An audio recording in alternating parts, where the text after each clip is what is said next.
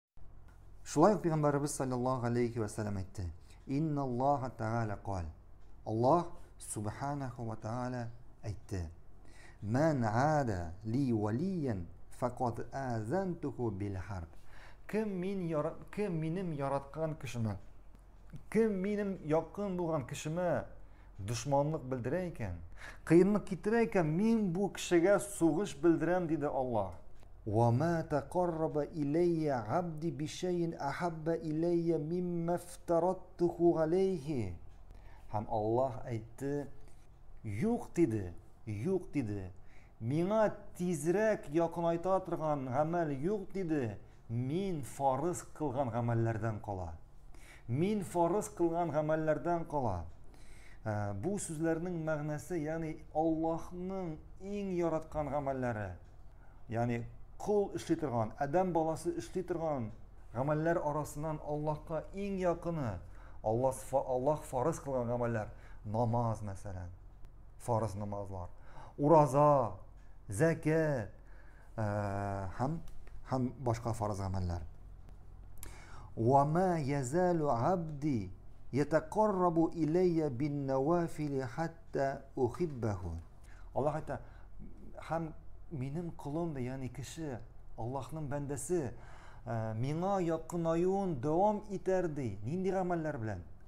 нәфел гамәлләр белән ягъни сөннәт булган гамәлләр белән фарыз гамәлләрен эшләгәннән соң сөннәт гамәлләрен эшләп аллаһның бәндәсе аллаһка якынаюын дәвам итәр нинди вакытка кадәр аллаһ аны ярата башлаганча кадәр ягъни әгәр аллаһның бәндәсе фарыз гамәлләрен эшли икән Үти икән.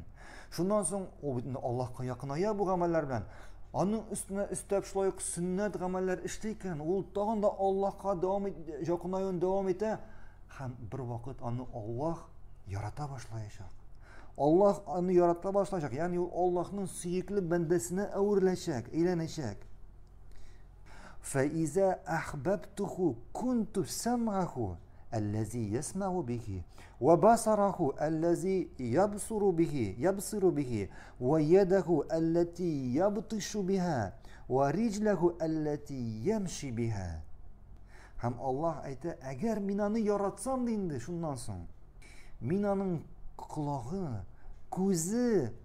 Куллары һәм аяклары булырмыни?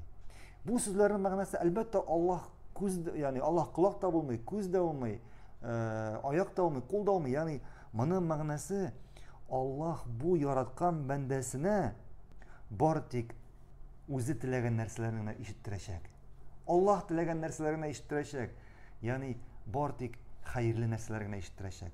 Харам әйберләрдән саклаячак аның колагын. Шулай күзләре белән Аллаһ бу бәндәсенә бары тик хәерле, хәерле булган э, җирләрне генә, хәерле булган әйберләрне генә күрсәттерәчәк бу күзләр белән. Һәм харамнан аның бу күзләрен качырачак. Э, бу күзләргә харамга карарга бирмәячәк Аллаһ. Аның куллары, ягъни кеше бу куллары белән үзенең куллары белән бар тик хәерле гамәл генә кыла башлаячак. Һәм үзенең аяклары белән бу кеше бар тик хәерле җирдән генә бар тик аңа файда китерә торган ахирәттә һәм бу дөньяда файда китерә торган гына урыннарга шушы аяклары белән барачак. Аңладыгызмы бу сүзләрнең мәгънәсен? Ва ин сәәләни ләугътияннәху. Һәм әгәр ул Аллаһ әйтә, бу бәндә миннән сораса, мин аңа бирермен ди. Мин аның догасына җавап бирермен ди. Мин аңа ул сораган әйберне аңа бирермен ди. Ва ин истаазани ләугизаннаху. Һәм ул миңа ярдәм сорап сыенса, мин аны саклармын ди. وما ترددت عن شيء أنا فاعله ترددي عن قبض المؤمن يكره الموت وأنا أكره مساءته һәм аллаһ әйтә Һәм ди, һәм ди мине бер нәрсә дә икеләндерми ди. Бер нәрсә дә икеләндерми, мине тирбәттерми ди. Ни э, нинди гамәлдән кала? Э, мөмин булган кешенең җанын алудан кала ди. Җанын алудан кала ди. Чөнки моны яратмый ди. Чөнки мөмин кеше, ягъни бу кеше ди, үлемне теләми ди. Үлемне теләми ди. Шушы үлемнең булуын теләми бу мөэмин кеше, ди. Шуңа күрә бу гамәл мине икеләндерә, ди Алла.